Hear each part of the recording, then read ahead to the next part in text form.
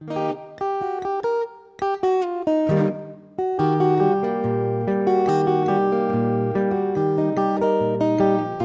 term evaluation triggers many different connotations. Evaluation is an audit, form of inspection, research survey, and of course a long and boring report full of difficult words. We know from experience that because of evaluation's bad image, organizations are often not able to fully benefit from it. Our solution is simple. We want evaluation to be a form of creative reflection. Only then it can be truly useful and, however surprising it may sound, interesting. But how to do it? First of all, not everything can be bought. If evaluation is to be a form of reflection, it cannot be fully outsourced or commissioned. It's not a standard service. A hired external evaluator will provide expertise that your organization might not have, but nobody knows your program better than you do. That is why you should yourself formulate questions you want evaluation to answer. Only then, the results it provides could be really interesting for you. Reaching meaningful and relevant conclusions will not be possible without your participation. Reflection, however, requires the right conditions. Make sure you reserve time for discussion and plan the evaluation before the start of your program. Imagine you're organizing a computer course for senior citizens. Surely you want to know participants' impressions and comments.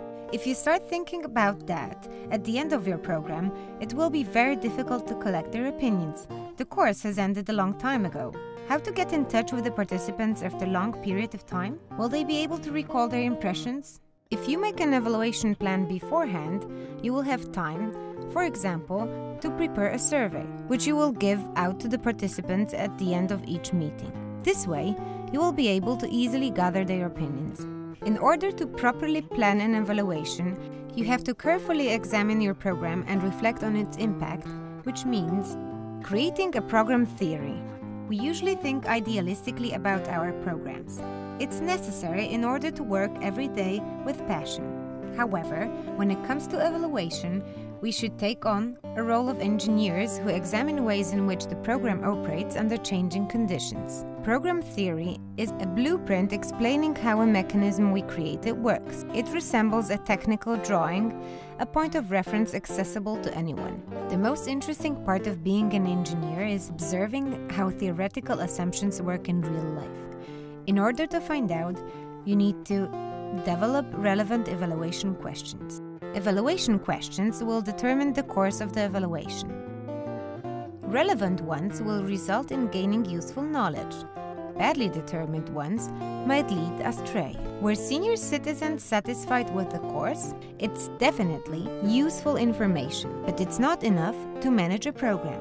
How will you know whether they really learned something? Did they start to use a computer on a daily basis? If not, then maybe it's worth modifying the scope of the course, even if the participants enjoyed it. A lot depends on questions. That's why they have to be chosen carefully on the basis of program analysis and discussion. A lot of information can be gathered by the organization. Evaluation doesn't have to mean big expenses or work overload. The key to success is a good plan. During the computer course for seniors, you can carry out a simple skills test or a group interview to gather useful data.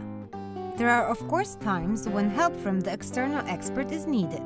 For example, when you want to determine the impact the course has had on the senior's life, you need time, sampling, and proper research methods. That type of research is best left to the experts. Gathered data become a part of the report, which is not the end of the evaluation. Is there any point in putting a lot of effort and resources in creating a document that will be just paged through? What do we need to do in order for the report to play a useful role in future editions of the program? We need to create the right conditions for it. You can organize a meeting during which the report will be discussed by your team and the findings will have a chance to resound or gather a group of experts whose task will be to turn the conclusions into recommendations with practical application. Remember that evaluation is useful not only from the donator's point of view. A slight difference of emphasis is all it takes to really make it a more useful tool. Evaluation. Let's do it better.